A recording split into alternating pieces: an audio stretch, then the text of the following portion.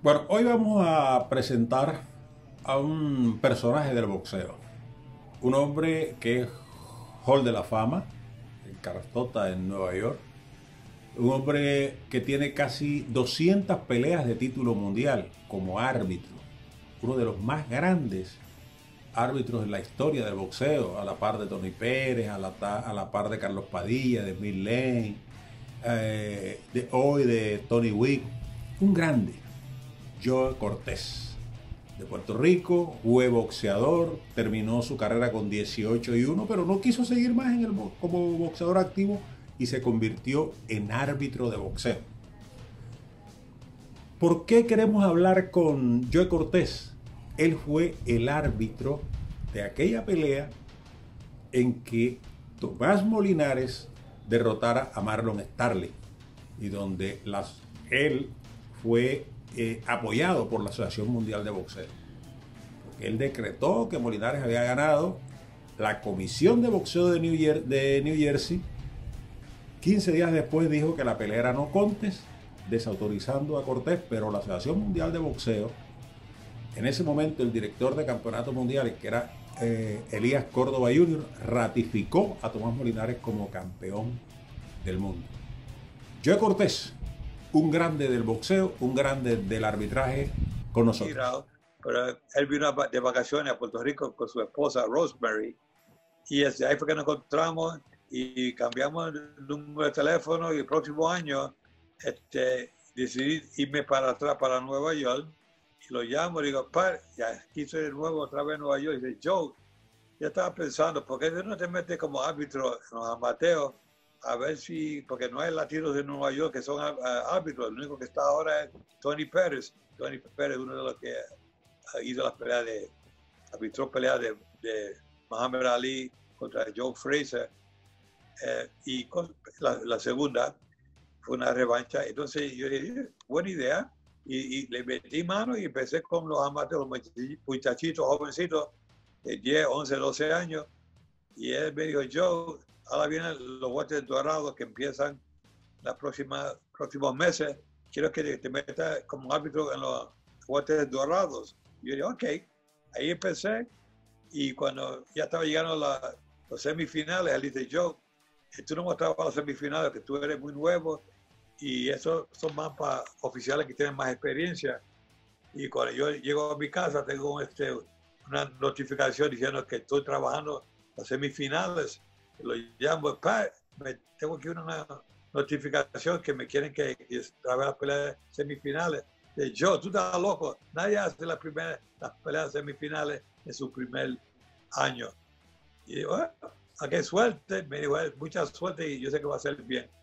Hice la pelea semifinal, dos semanas después recibo otra notificación que tengo dos peleas de campeonato las finales en el Madison Square Garden como árbitro. Y digo, Pat, tengo otra notificación, me dice, Joe, eso es imposible. Nadie trabaja primer año este tipo de pelea. Bueno, mucha suerte. Hice dos peleas de campeonato mundial. Una de ellas fue Juan Laporte, que fue este campeón mundial en peso pluma años después. Entonces, de la comisión de Nueva York, vi un señor que se llama Frank Morris. Frank Morris me llama y me dice, Joe, quiero hablar contigo.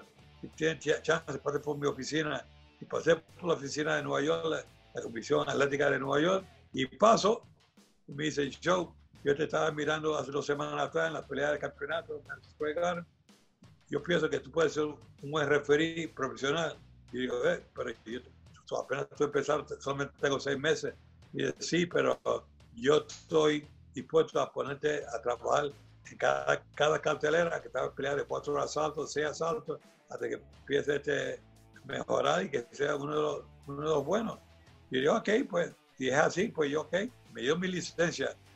Esa semana me mandan mi licencia y hice 35 años como mi, sueño era, y, wow, increíble. Yo pues una pelea, una de campeonato mundial, yo soy el hombre más feliz en el mundo. ¿Y, me retiré. Con más de 200. con casi 180 peleas de campeonato mundial cuando me retiré.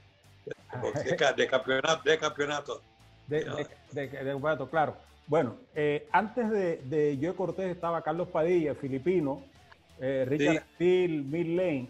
¿En alguno de esos se fijó Joe Cortés? ¿Alguno de esos era su, su, paradigma? ¿Era el, hombre a seguir?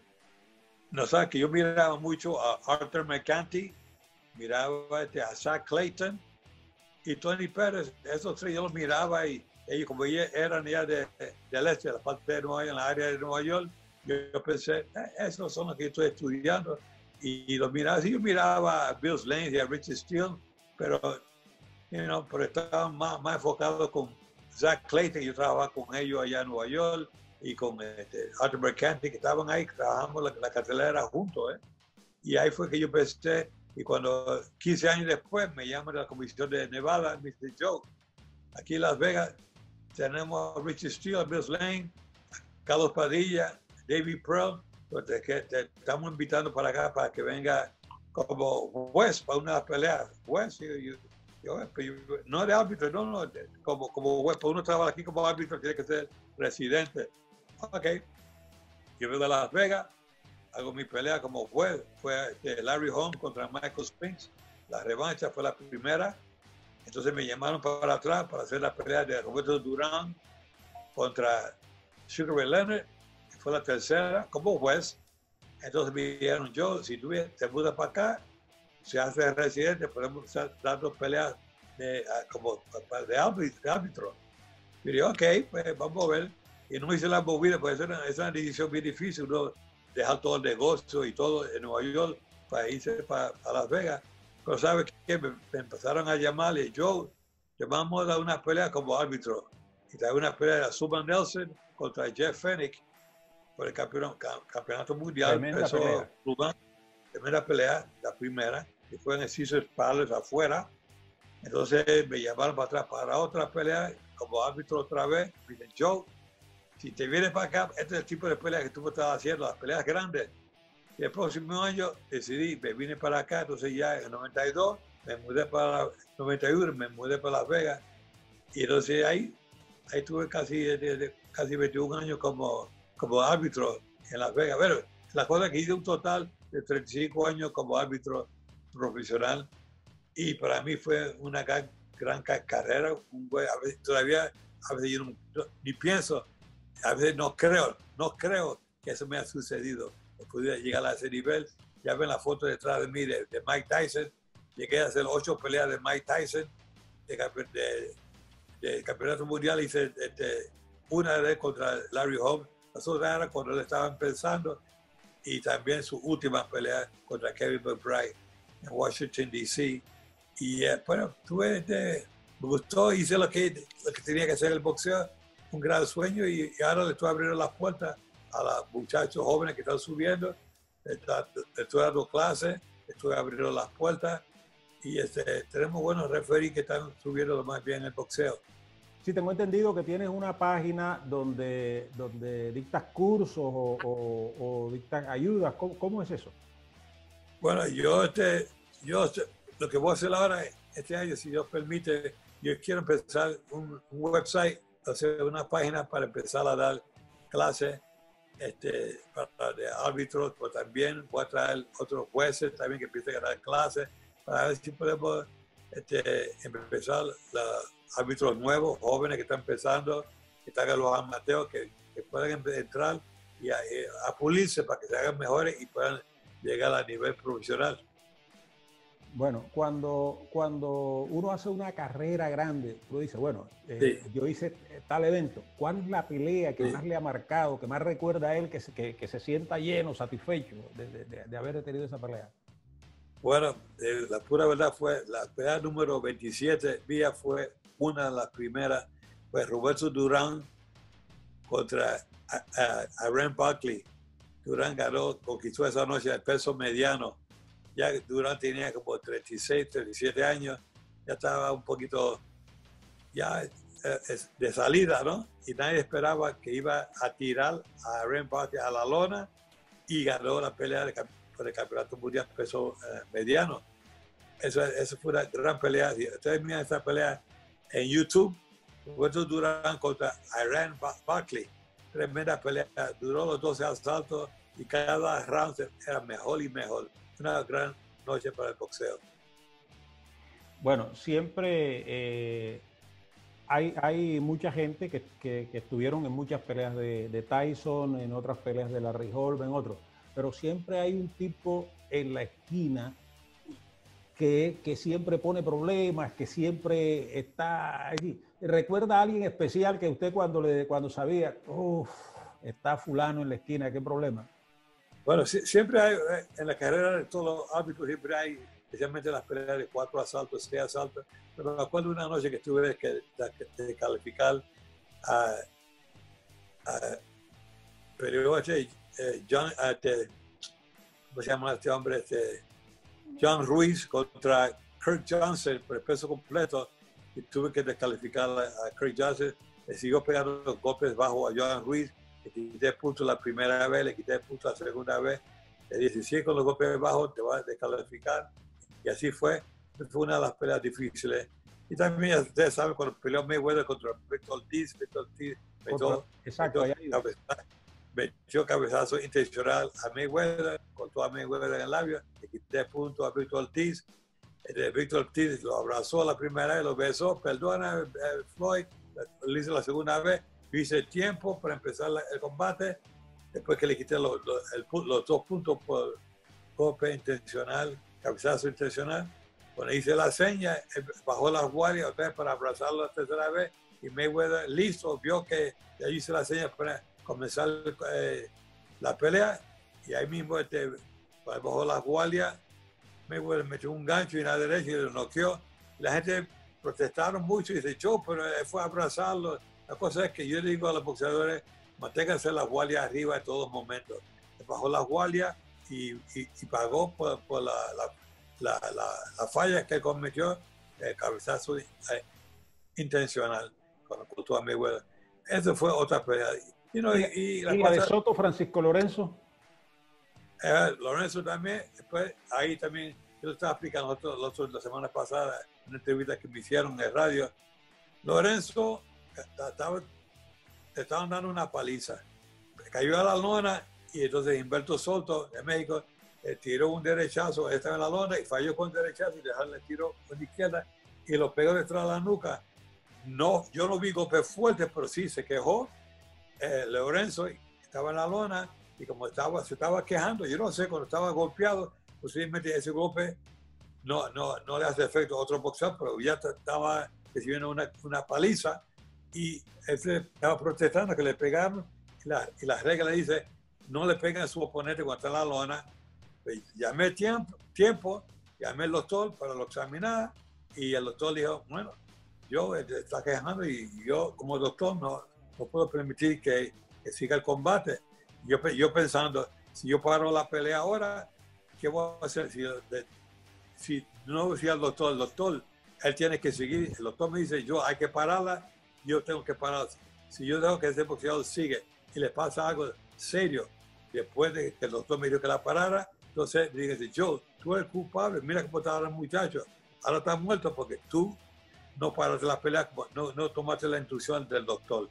So, yo como árbitro tuve que parar la pelea, hablamos con la comisión, y la comisión, el, y el golpe, lo estaba parando por el golpe que le pegaron la nariz, que tiene la nariz rota, el, golpe en la cara, le dijo, no fue, tengo que pararla por el, golpe detrás de la nuca. Un, un, golpe muy serio, el doctor dijo, hay que pararla. Yo sabía que todos me iban a protestar a mí, porque yo soy el que tengo que tomar la decisión. Ok, pues tuve que descalificar a Humberto Soto, y entonces todos me estaban atacando a mí, pero hay que pensar que, como dijo el comisionado, el doctor fue que le dijo a yo que hay que pararla y yo tuve que pararla. Y la gente protestaron mucho. Yo, pero tú puedes cambiar la decisión. No, ellos no saben. Si el doctor te dice a un árbitro, para la pelea, tú tienes que parar la pelea, porque si sucede algo serio, el muchacho queda lastimado o muerto, como ha pasado, han pasado en otros combates, en otras peleas, con otros, otros boxeadores, tú tienes que tomar esa decisión, una decisión bien, bien serio, porque el doctor dice, stop fight, hay que parar la pelea. Tú no puedes ir contra el doctor. Y esta fue una noche que no me gustó. Yo sabía que me iban a protestar mucho, pero lo mío es proteger los boxeadores para que no reciban golpes innecesariamente, especialmente si el doctor te dice para la pelea. Bueno, eh, la satisfacción que se, que se, puede sentir, ¿cómo la describe? De la exaltación al Hall de la Fama junto con Costiasiu, con, con Tyson. E, ese día exaltaron a cuatro, y entre esos usted. Sí, entró este Casa Azul, entró Julio César Chávez, Julio César Chávez, Mike Tyson y Sylvester Stallone de la película Rocky, en cual yo fui el árbitro ah, la película de Rocky. La película de Rocky también, quería, ese tema lo iba a tocar. Sí, y Sylvester Stallone también entró al Salón de la Fama, fue saltado al Salón de la Fama, igual que yo, y Nacho Benicín, entrenador. Entramos seis al Salón de la Fama en 2011, y para mí eso fue un día muy especial.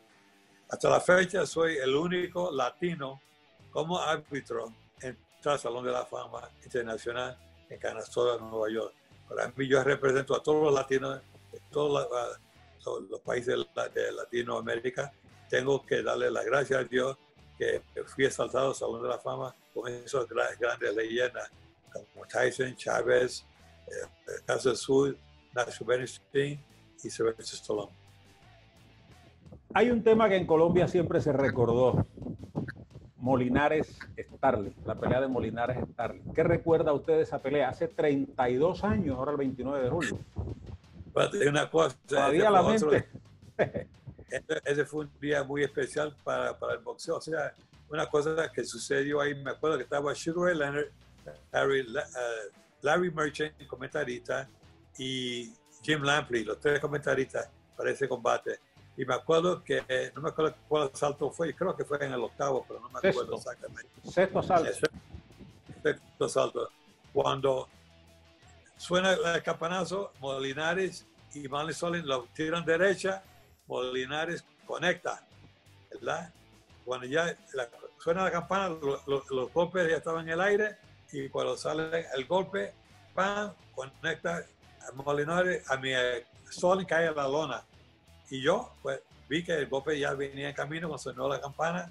Suena la campana y ya, pues, ya tenemos que tirar una izquierda y una derecha. Y ya la, el, para mí el golpe ya venía en camino. Y este, tuve que contarle 10 a, a, Marlon, Stalling y entonces este, se hizo campeón mundial Tomás Molinares. El público, yo no, pero vino después la campana. Y Shirley Leonard, comentarista, gran campeón, una leyenda del boxeo él dijo, tú no puedes parar, yo no puedo parar un golpe que ya viene en camino. Es como en el básquetbol.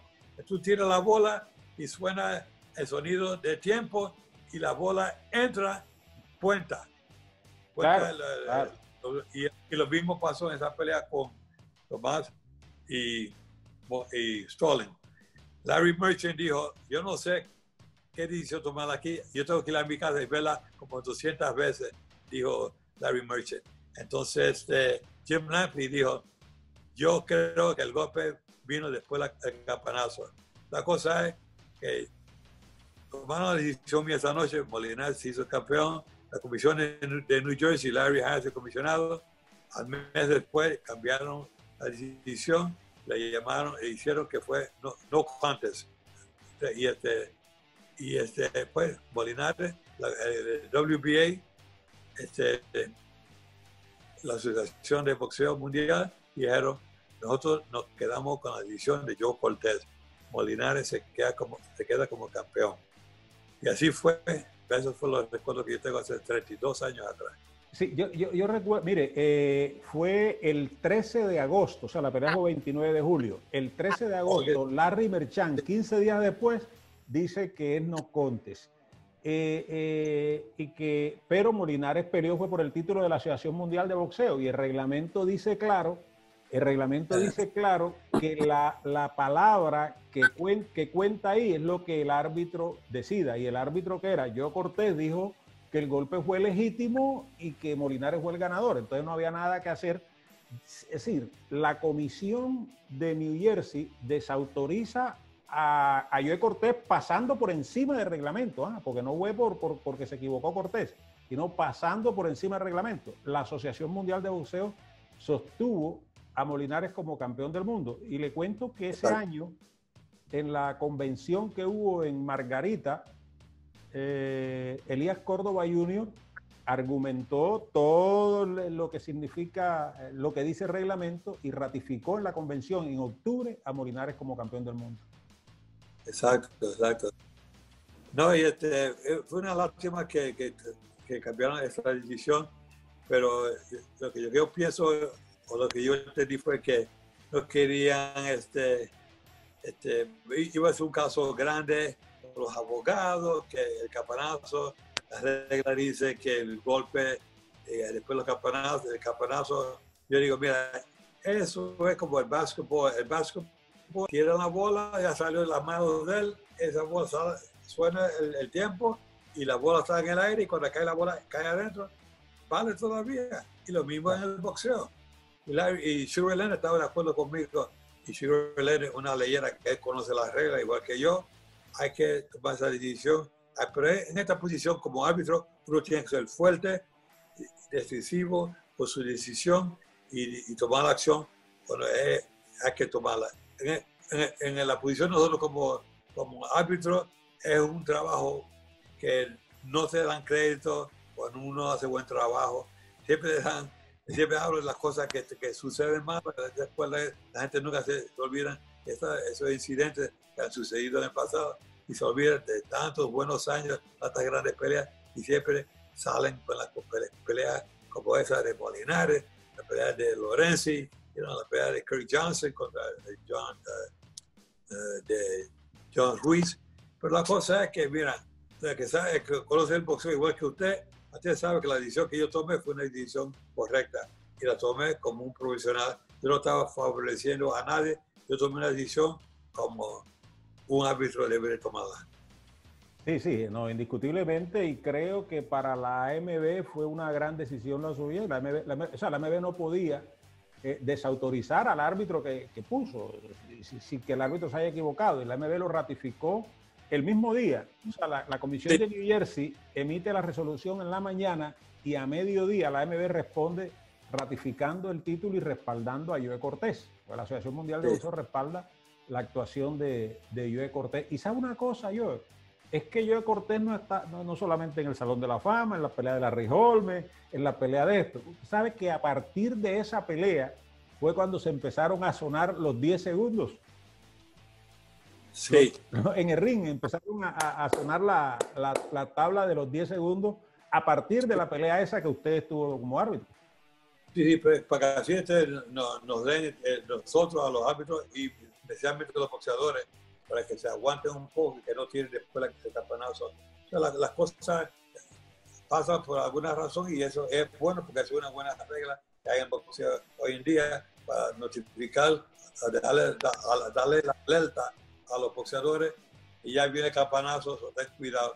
Le damos la instrucción en camerino a los boxeadores, una de las reglas que le hicimos, pero oigan el, sonido de 10 segundos cuando va a terminar el asalto, no tienen golpe después del campanazo, después de contar puntos o puede ser descalificado. Yo recuerdo, yo recuerdo y lo, lo relato en, en, un libro que va a salir próximamente, un libro sobre la vida de Tomás Molinares y el incidente de la pelea, de la, de la pelea donde la AMB lo respalda a usted eh, y donde ratifican a Molinares como, como, campeón, porque Molinares después tuvo los problemas que tuvo Molinares, eh, problemas de, bipolaridad, eh, entonces lo están revictimizando de que no fue campeón, porque la, la comisión de New Jersey, lo otro que le iban dando una paliza, que fue un golpe, o sea, lo han revictimizado y resulta que, que yo, yo lo, lo, lo, en, ese, en el libro, que por cierto, cuando esté listo le enviaré, le haré llegar un tomo a usted para crear la historia de ese día, de esa pelea y lo que ha sido de la vida de Molinares después. Ya está muy bien, ya Molinares eh, vive bien con su familia, eh, tiene una, un, un apoyo del Estado, también de la empresa privada, de la empresa cuadrilátero donde él trabajaba, quedó con una pensión pequeña, pero las dos le dan para vivir dignamente. A Tomás Molinares vive muy bien, pero sí sigue con su problema. Entonces, eh, yo recuerdo ese día cuando usted fue al camerino a dar todas todas esas instrucciones, pero bueno, eh, tanto usted como yo estábamos mucho, 32 años atrás, imagínense. Entonces, Entonces creo, Eso fue increíble. Sí, cre- creo que es importante. Pero le, quería preguntar, el boxeo para mucha gente está diciendo que el boxeo viene un poco en decadencia. ¿Qué considera? ¿Qué considera yo Cortés que está el boxeo en este momento? Bueno, sea, con, el coronavirus, pues todo se ha aguantado, no solamente aquí en Las Vegas, de todas partes del mundo. Pero ya las últimas seis semanas, Top Rank con Bar Aaron, aquí en el MGM, en el hotel MGM Las Vegas, ah, estamos envueltos, yo estoy envuelto con la comisión, me pidieron que me regresara con ellos para ayudarlos con los que llaman el, replay, o sea, uno revisa. Yo veo que hay un, golpe, o sea, el, árbitro de ese- ese- esa, esa, esa cortadura fue de, un golpe. Yo digo, no, no, yo miro la pantalla que tengo frente de mí y veo que fue un cabezazo accidental. Entonces yo pongo una luz amarilla, entonces eh, para eh, tiene una luz amarilla en el lado entonces está, toma el tiempo, también pone una luz amarilla en el otro lado. Entonces el referee cuando ve el tiempo, él para el tiempo dice time. Entonces yo le enseño la pantalla, él le miro, él revisa y le digo, mira, eso fue un cabezazo, eso no vino de un golpe. Para que, para que gane, que debe de ganar, no por un error humano. El referee no puede ver de todos ángulos, es imposible. Estamos ahí para, darle una ayuda, tener otro, otros ojos extra para que ellos vean que fallaron y yo les cambio la decisión y entonces pues ahora pues la decisión yo tomo la, la decisión final en el combate. Normalmente era el árbitro, solamente el árbitro, pero ahora con esta decisión que tomamos aquí con la comisión eh, que hace el oficial, que está haciendo la revisión, como yo, este, yo puedo cambiar la decisión, entonces el, árbitro tiene que cambiar su decisión, que yo, tengo, que yo verifico en la pantalla este, que sí fue de un cabezazo o fue que le, le- le cruzaron los pies, los pies, las piernas y fue un golpe y fue, eh, fue estaba fuera de balance y el referee empieza a contarle. Y eso le- ese punto le puede costar el campeonato a ese boxeador. Queremos que gane el que debe de ganar, porque todos podemos cometer un error, error humano y pienso que eso es algo bueno para el boxeo. Eh, y la, la parte Y el, y- y- el boxeo está empezando de nuevo, pero estamos, estamos viendo cómo va, cómo va a estar los próximos meses. Teníamos dos peleas semanalmente, lunes, a martes y jueves, por las últimas seis semanas, pero ahora, este, en agosto, tenemos solamente dos, dos eventos en agosto y dos eve- eventos en septiembre. Así, estamos empezando, pero ah, con el coronavirus no sabemos todavía dónde estamos de dos o tres, cuatro meses adelante, no sabemos todavía. Estamos estudiando a ver cómo si el coronavirus se separa, pero estamos bregando lo más bien. No hacen exámenes, me hacen el examen, estoy seguro que no tengo el virus y los boxeadores también, los entrenadores, todos los que están trabajando en la comisión toman este, el, examen, te hacen por la boca, te hacen una prueba, por la mañana te mandan a una habitación que está en cuarentena durante toda la noche, durante el día, hasta que te notifique por la mañana que estás que está sano, que estás bien, que saliste negativo. Entonces dices, ok, bien, ahora puedes salir de tu habitación, vete a desayunar. Entonces uno viene para atrás, te, te- seguridad te escolta en el elevado para abajo, te lleva al, comedor a comer, que trae para atrás, y todo el día y almuerzo. y Entonces ahora ir a las peleas, bueno, es una cosa bien estricta con todo, y tú no puedes salir de esa de esas reglas que tienen ellos. Uno tiene que seguir esas. Si te sale de las reglas esas, lo que llama una, un bubble, una burbuja, y sale de la burbuja, entonces te pueden sacar del evento. Ah, ya ha, ha tenido como cuatro o cinco boxeadores o entrenador o manager que han salido positivo de cancelar las peleas de esos boxeadores. Porque está, quieren estar seguro que nadie eh, tenga el virus y vaya a afectar a su oponente o otra gente que tenga alrededor. Pero lo estamos haciendo muy bien aquí en Las Vegas y creo que estamos en bien camino.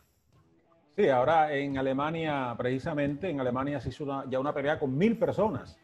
O sea, mil personas en Alemania. Entonces yo creo que, que se va en buen camino y que, y que bueno, pronto, pronto vamos, pronto vamos a salir de eso. Yo creo que es definitivamente para nosotros aquí en Colombia es un orgullo tener a una, a una, persona tan distinguida, una autoridad en el, en el arbitraje del boxeo y que ha estado con las principales figuras, con las principales figuras en el mundo y que está en el, en el Hall de la Fama. La verdad es que, que para mí siento un inmenso placer de que, de que haya, como me dice usted, mi hermano, aceptado esta invitación y, y, y vamos, a seguir, vamos a seguir en contacto. El tema el tema de, los vuelos, o sea, cuándo tienen que llegar, ahora que usted está en Las Vegas y que está en la comisión, cuándo tienen que llegar los boxeadores a Las Vegas, o sea, con qué tiempo, ahora con el coronavirus. Están aquí unos, cuatro o cinco días antes de la pelea, algunos están más tiempo porque saben que tienen que, hacerse el examen del virus, y si a veces se si cancelan la pelea, pues ha pasado con dos peleas, han cancelado dos combates o, tres combates ya. Entonces lo que hacen es se quedan ahí, hasta que consiguen otro, otro, oponente. A veces están aquí una semana o dos semanas, se ponen para, trabajar y este, ya han visto, como digo, dos o tres, como tres boxeadores que han tenido que quedarse para, que le consigan un oponente y que peleen después. Este, y Top Rank con Barron, ESPN, todos están trabajando muy bien, el MGM, el hotel del MGM también, todos están como trabajando juntos, todos están ayudando para que se, se, pueda seguir la, la pelea eh, televisada a través de ESPN. Pero bueno, ahora pasó algo con un colombiano allá, el rival de un colombiano, un filipino, Job, que, no fue el coronavirus, ese, ese fue el, el glotón que llegó fue, nueve libras. Eso fue, estaba sobrepeso y aquí la comisión dice que pueden hacer un arreglo si era como 7 libras, pero él estaba 9 libras. Entonces la, la, comisión no pudo aceptar la pelea porque a través de, de, de los tres doctores que, que vieron, estudiaron, no, no podemos tomar ese chance. Pues si ellos toman ese chance y dicen, no, por dos libras de diferencia, ¿por qué van a dejar la pelea? La cosa es que si, hace, si se hace la pelea y su oponente sale lastimado y que, ha pasado, en muchos, muchas peleas durante los años, sale lastimado, algo, un daño permanente o algo, van a decir, pues esto fue culpa de la comisión, pues ellos rompieron las reglas. La regla decía que tenía X cantidad de libras que se podía permitir, pero la comisión se fue sobre. Entonces ahí donde la comisión eh, cometen la falla.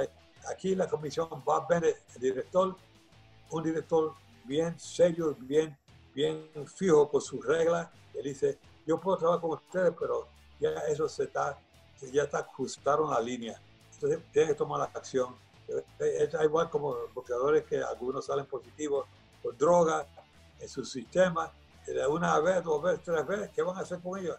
Hay que, hay que eh, darle, tenerlos castigados. Algunos se castigan, le dan una multa, lo castigan por seis meses, un año, hay, hay unos cuantos boxeadores que siguen y siguen y siguen. Entonces, ¿qué tienen que hacer?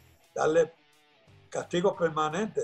Porque tienen que, alguien tiene que hacer algo fuerte para que esta, vez esta gente vea que estas son las reglas. Si quieres ser boxeador, quieres ser campeón mundial, tienes que este, estar con las reglas. Sí, efectivamente. Nosotros esperamos aquí en Colombia también, de parte de la Comisión de Boxeo, la Comisión Nacional de Boxeo y, la Federación, para tratar de, de, imitar las cosas buenas que están haciendo en Las Vegas, parando, o sea, haciendo las cosas como son. Cuando usted era boxeador, y ya vamos a hablar del yo boxeador, por ahí me enteré que usted, peso pluma, yo corté peso pluma, que llegó, que peleó en México y, y le, le, pusieron un, remoquete, un apodo, hicieron todo, lo, lo volvieron mexicano. ¿Cómo? Cuéntanos esa anécdota, ¿qué fue lo que pasó ahí? Sí, bueno, Gaspar Indio Ortega fue el que me, yo lo conocí cuando tenía 12 años, Gaspar Ortega vino a Nueva York, y vio que su hermano eh, Félix lo llamaba, eh, su hermano Félix lo llamaba el sapo y Gaspar Ortega lo llamaba el indio, Gaspar el indio Ortega. Gaspar el indio Ortega tuvo 185 peleas como profesional. Nunca fue campeón, pero le ganó a Benny Paré, cuando el cubano Benny Paré, cuando era campeón. El que mató Griffith, el que peleó con Griffith. Exacto, el que Griffith lo mató. Entonces Benny Paré este, le dio chance a Gaspar Ortega por una pelea, pues no fue por el campeonato, no quería darle el campeonato, se le dio una pelea de 10 asaltos. Gaspar Ortega le gana a Benny Pared cuando Pared era campeón mundial. Pero Pared se mantuvo campeón porque no fue por el título. Entonces, Ima Griffith le dio chance a Gaspar Ortega por el título, la única vez que le dieron chance a Gaspar Ortega. Ya, ya Gaspar Ortega ya tenía 81 peleas como profesional. Cuando Griffith le dio chance, Griffith le quiso para darle las gracias porque Gaspar le dio a Griffith la, la primera pelea principal de Ima Griffith en Madison Square Garden contra Gaspar Ortega. Gaspar ya era uno rankeado número 2 o 3 en el mundo y Griffith le ganó a Gaspar Ortega. Griffith tenía 21 años y este, ahí fue que Ima Griffith empezó a subir para arriba y Gaspar Ortega pues siguió hay años y años tratando y, eh, y Gaspar le, Era difícil en esa época, era difícil. Es difícil y el boxeo estaba más controlado y no le, no le daban chance a Gaspar Ortega y su manager se llamaba Nick Corby, puertorriqueño. Nick Corby este, no pudo conseguir el pelea campeonato mundial a Gaspar. Sí peleó muchas peleas importantes con, con este, Isaac Lorgar, con Florentino Fernández, con, este, Benny, uh, con Kika Vilán, con Carmen Bastillo, gente, boxeadores de los más grandes. Bravo, era una época brava en ese peso, vuelta. Y todo, todo, el marco, que todos campeones, Gaspar ganaba y perdía contra ellos y este, pero nunca le dieron el chance, no era por, el título y Gaspar nunca tuvo esa oportunidad. Y este, ahora Gaspar Ortega, pues él vive todavía en Estados Unidos y vive en, en, New Haven, Connecticut, con su esposa Iraida. Eh, su hijo Mike Ortega es un árbitro profesional ya hace por los últimos 20 años.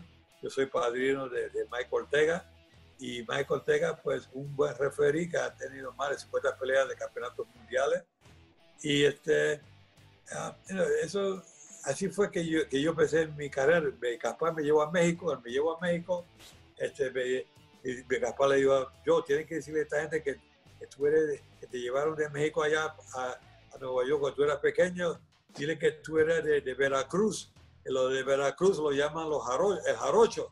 A mí me llama Joe el jarocho Cortés, para que me aceptaran, los, los fanáticos me aceptaran porque yo era puertorriqueño, ya tú sabes que si tú no eres la raza, ellos van a favorecer al, al de ellos. Y cuando decían que yo les arrocho Cortés, pues ya los fanáticos me querían especialmente, me querían más porque yo estaba con Gaspar Ortega. Y yo hacía, yo hacía sparring con Gaspar Ortega en su entrenamiento. Yo era peso gallo, peso pluma, y ahí yo ayudaba, ayudaba a Gaspar Ortega haciendo sparring con las peleas de él la gente me miraba y me decía, este se boxea bien, buen boxeador. La cosa es que tuve una buena carrera como profesional. El Box me tiene con 12 peleas, pero yo tuve otras peleas en México. Yo tengo 18, 18 ganadas y una derrota. Mi única derrota fue contra este, uh, um, no me acuerdo el nombre del muchacho de, de Ohio, este, él fue un muchacho de Ohio que fue el que me ganó una pelea, fue mi, quinta pelea, este, que fue en el Madison Square peleé una, una, división, feliz anoche, mi hermano Mike ganó una pelea, yo gané, yo peleé, fue contra este, oh, se me olvida, se me olvida el nombre del muchacho. Sí, La cosa es que... Borrero tiene 13 y 1, tiene Borré, pero yo tenía entendido que son 18 y 1, porque tú no me lo habías dicho una vez. Sí, y, y este pues fue, fue, bien, pero cuando vi que no tenía camino, vi que no, no había camino para mí como profesional, no, no me estaban moviendo bien, cambié de managers eh, eh, como tres ocasiones, a ver si me podían mover y vi que no estaban haciendo nada, decidí, después que estaba casado, me decidí retirarme. Entonces me retiré y me fui para Puerto Rico. Entonces allá en Puerto Rico estaba trabajando en los hoteles, de hotelero, y cuando llegué a una posición de ejecutivo, me, dio esa fiebre, esa gana de pelear, quería pelear de nuevo y regresé para atrás, como tres años y medio después, y peleé ahí en Puerto Rico, era Puerto Rico contra, este, Santo Domingo, y, el boxeador de Santo Domingo contra el boxeador de, de, San Juan de Puerto Rico. Y una pelea, estuve en la cancha de Country Club de Puerto Rico, y este gané fácil, gané la pelea fácil. Eran de cuatro asaltos, el, entrenador me dijo, vamos a empezar con cuatro asaltos de nuevo a ver cómo llega y, que hice mi pelea, gané bien, entonces mi esposa y toda la familia, lo que dije, yo, no, no, no, ya no pelees más, tú tienes buen trabajo, está bien, y dejé el boxeo de nuevo, ocho años después regresé, y como le dije anteriormente, el señor Pan Masha, que, era policía, estaba de, huésped en el hotel, fue que me, dio la idea de empezar de nuevo, regresé para atrás, para Nueva York, ocho años después, ahí fue que empecé y estuve 35 años, bueno, bueno, bueno 35 años en el boxeo para mí. No, indiscutiblemente que es una, una figura, un hombre hall de la fama, eh, peleas de Tyson, peleas de Larry Holmes, de Julio César Chávez, de Leonard, de los grandes, de los grandes del boxeo, eh, de la etapa dura y que ha vivido toda una vida en el boxeo. Fue un placer, un placer de verdad tenerlo y, vamos a estar a seguir en contacto para hablar de todo eso. Y, queríamos tener el concepto usted de lo que pasó, de, a viva voz del hombre que estuvo, el tercer hombre en el ring ese día en la pelea de Molinares Starling. Entonces, nos ha explicado lo que pasó. Eh, ha sido un inmenso placer, eh, yo, tenerlo aquí y muchas gracias, muchas gracias por aceptar la invitación nuestra. Bueno, gracias, un placer para mí. Siempre este, sigo mi boxeo, siempre estoy tratando de ayudar a los latinos en el boxeo los oficiales y siempre le estoy dando buenos consejos a los boxeadores jóvenes que yo eh, a veces me encuentro aquí en Las Vegas o en Nueva York o en diferentes partes del mundo cuando yo estoy viajando. Me gusta darle buenos consejos a nuestra juventud para que puedan llegar a ser campeones mundiales y, este, también hacer películas. Yo hice películas, como dije anteriormente, de Sylvester Stallone, Rocky Balboa, hice una película con Eddie Murphy, I Spy, hice una película con Antonio Banderas, Play to the Bone y una con Wesley Snipes. Me dan mi, mi, mi, mi oportunidad de, hacer otras cosas aparte de, árbitro. Eso, yo siempre tratando de me ayudar. Este me dice, yo te queremos como árbitro. Son, esos, esos artistas me ven en las peleas y dicen, yo, tengo una película que viene pronto quiero que tú seas árbitro de mis peleas, en mi, en mi película. Y yo digo, ah, yo acepto, claro que sí. Yo nunca pensaba que iba a estar haciendo peleas, que eran películas grandes así, con esos artistas grande y tan famoso, pero para mí a veces me tengo que pinchar, a veces para mí es como un, como un sueño. Yo a veces no, no creo que esto está sucediendo en mi vida. Siempre le doy gracias a Dios y le digo a la juventud, a mis fanáticos y a, los latinos en todas partes del mundo que los quiero mucho mando muchas bendiciones a todos. Gracias, yo la verdad es que su, su humildad no abruma y, y, que Dios lo conserve así, que lo conserve por mucho tiempo. Muchas gracias, George. Muchas gracias. Bye, bye.